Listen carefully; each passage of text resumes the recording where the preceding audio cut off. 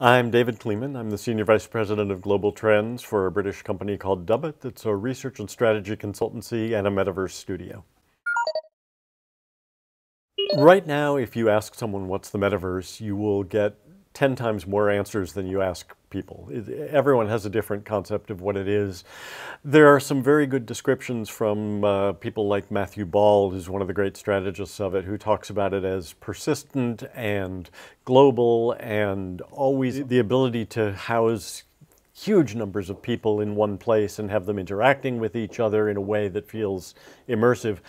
I try to reduce it, especially when I'm talking to people who make content for children, to the simplest possible uh, idea, which is which is reducing the friction points, the frustrations that young people feel when they go into digital environments, reducing the frustrations when they play games, when they try to socialize, when they communicate with each other, when they explore, when they learn, and doing that by making immersive environments, making, making places where they can explore on their own, where there's not someone constantly telling them what direction to go or telling them what, what they should be uh, thinking about but allowing them to, to make the worlds their own and, and often to create the worlds that they're playing in.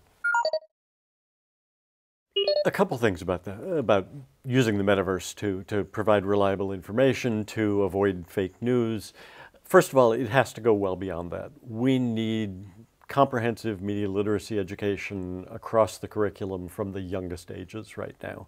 We teach young people to read text, to read print, there is no reason we shouldn't be teaching from the earliest years how to read screens, how to read audio, how to, you know, all the different inputs that come to, to young people now. I am most interested from a news and information perspective for the metaverse in two of the platforms that um, are not game platforms necessarily, and that's virtual reality and augmented reality. Virtual reality, I think about from the perspective of the news consumer. We know that there are ways to create empathy for someone's situation by immersing another person in that world.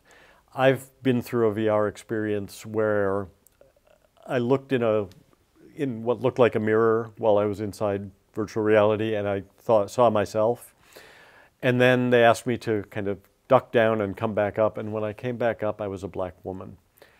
And instantly, things started happening in the virtual space around me that could happen to a black woman, how she was being treated, the race, racist comments, the ways people looked at her, the ways people interacted with her.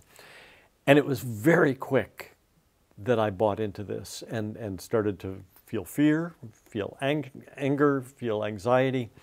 Um, and the, the, question that we still haven't answered is when you come out of that, how long does that last? And does it transfer to the real world? But there's some evidence that, that it does. So, in terms of immersing people in someone else's situation, getting them to care, which is the first step in getting them to act, I think virtual reality can be incredibly powerful. Augmented reality I see as a way of tagging the world with information so that as I'm walking around the world, I, my phone maybe, you know, we all carry an augmented reality device in our pockets right now, a smartphone. And as I'm walking around, my phone might tell me something happened here.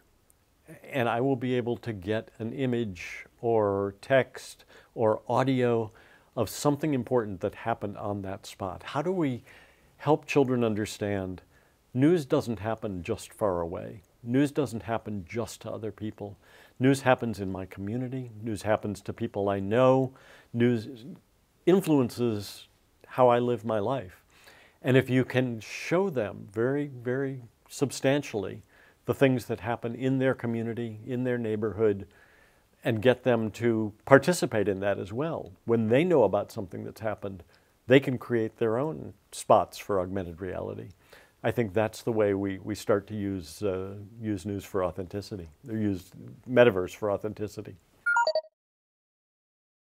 I think young people will be uh, a key part of gathering information, gathering the news around them. They see the world from a different perspective than the older people around them. And if we can start to respect that and look at their ability to create. I think that's that's the key right now. Is we think of young people as consumers of media, more and more they are creators of media, and we need to learn how to incorporate that into what we as adults, what we as decision makers around the world consume and the perspectives that, that we take in.